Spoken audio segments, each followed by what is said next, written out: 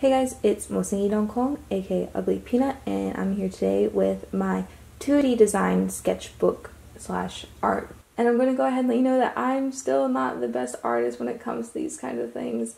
The teacher really wanted us to think outside the box for this class, and I'm not good at thinking outside the box and when things aren't very specific. So I did have a harder time in this class and I know my work is lackluster in comparison to other students and the people in my class were absolutely amazing artists. Oh, there's a chipmunk in my backyard. Oh my gosh, that's adorable. Hold on, let me see if you can see it.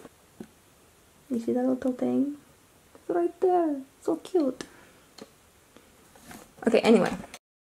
Here was just a list of important 2D design terms then we watched a short video and took some notes on it, just about examples of the different terms again.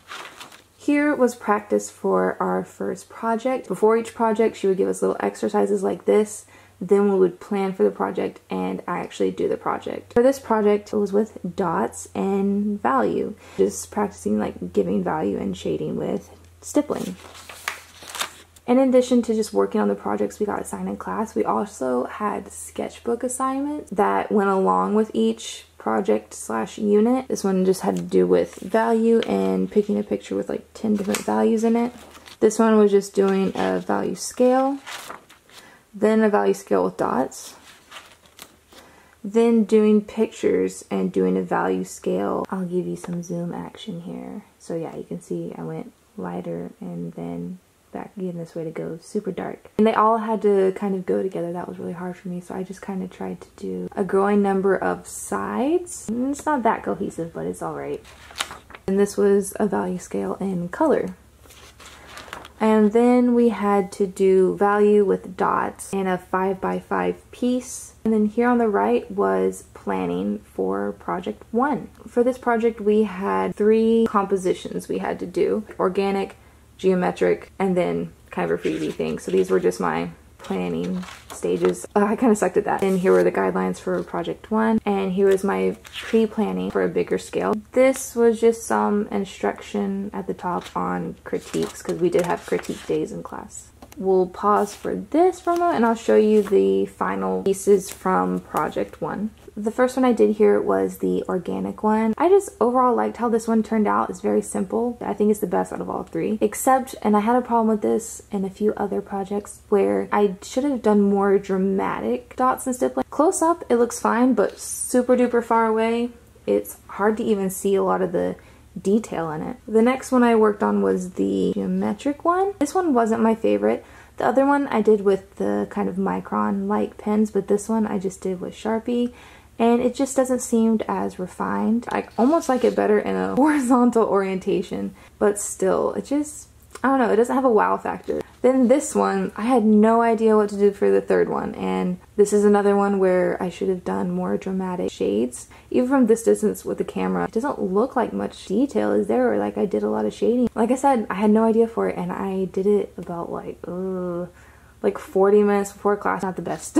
Don't do that with art projects, but a lot of people did. Project two here had to do with line and it was a similar thing values and lines and these were just the playing around assignments this was a sketchbook assignment using various lines and trying to fill up the page use separate lines and connect them with your mind don't remember this one another sketchbook assignment just watching a video and taking notes on how the artist did things planning here. This one I did struggle with again, just trying to get my ideas out. With this one, we also had to do one organic and one geometric. We didn't have to do a third one, thank God. I think everyone was about ready to die at that point. I accidentally skipped a page here.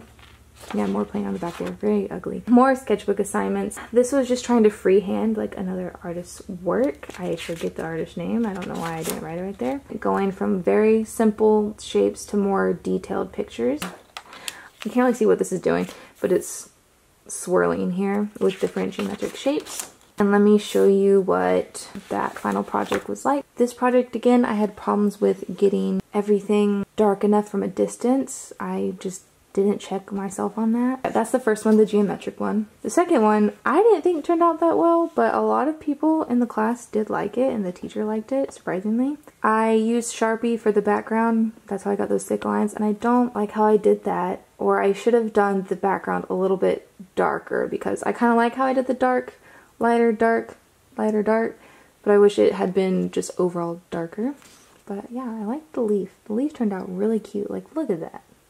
That's cute. Okay, project three. Essentially, we had to kind of create a storyline with a central shape as a theme. This was a practice page planning for the project. I actually did this one really fast. The other ones took me like a day to even come up with an idea, but this one, I did it in like one class period. It was so crazy. And then sketchbook assignment, planning for the final project, test page for India ink because I did it in India ink. Thought that people might have a hard time reading this because I did kind of do it in a weird way that your eyes should follow the page, but everyone in the art class pretty much was able to do the right way to read it. So you start here and you go here, here, down here, then up here. I thought about this project so hard because with this thing, with the dark part going down. If I did it too low, it looked like you're supposed to read this way, but when I brought it up shorter some, led people's eyes back up this way. Interesting.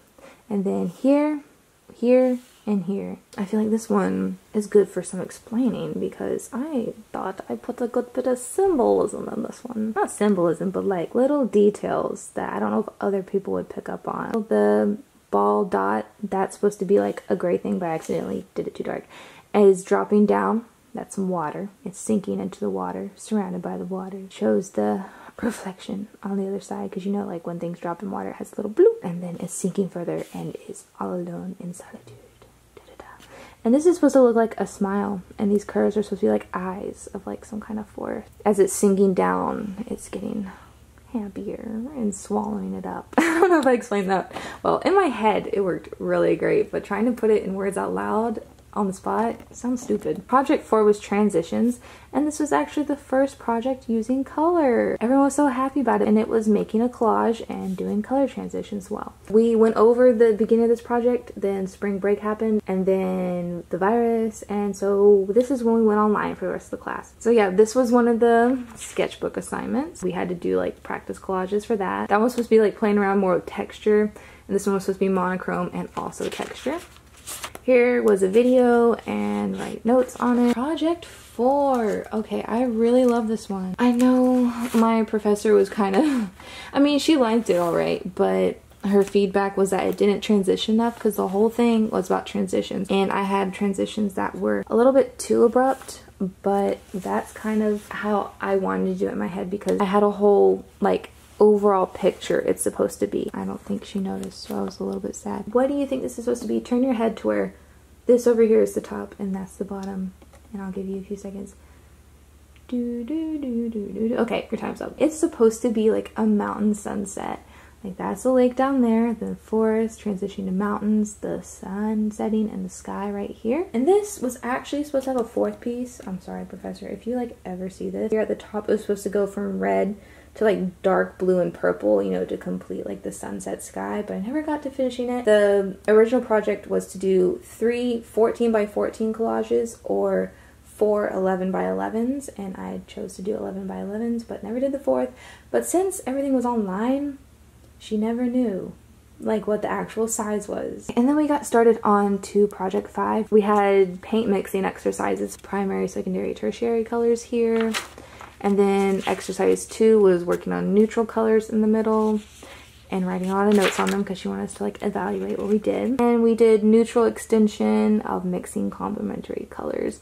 So this looks very pink. I had like, you know, the gouache mixing set that was like technically magenta. So this was be red and green, but I didn't mix it to make it red. I really liked the pink. It was really pretty. Exercise four was value scale of secondary colors here. And then we had like a little mini project here. She has this website where if you typed in your name, it paired letters of your name with certain colors and so we had to mix those colors, paint them on squares this big and then cut them out into shapes and make a composition from that. So project 5 was to come up with a design and paint it according to different color schemes I came up with a couple different designs and they're all ugly, but that's one I chose as you will see. And then that's it for the whole sketchbook. It's empty. I have quite a few pages left. We had to do grayscale on the front. This one was actually low-key my favorite. Page two here was complementary and then monochrome. This one was, I want to say it's analogous. This one was triadic,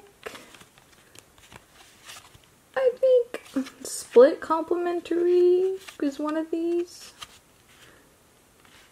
I don't know. Honestly, sorry. Terrible art student. And then this one was quadratic, I think. And then the last one was just pick whatever you want. And this one I just did cool tones. Yeah, and I actually really hate how this one came out. It looks really patchy right here because I diluted the gouache with a lot of water to get it to spread more thinly because I was about out of the mixing paint. Now that is it. I hope you enjoyed seeing some of my work from 2D Design. Thank you so much for watching and I'll see you guys in the next video. Bye!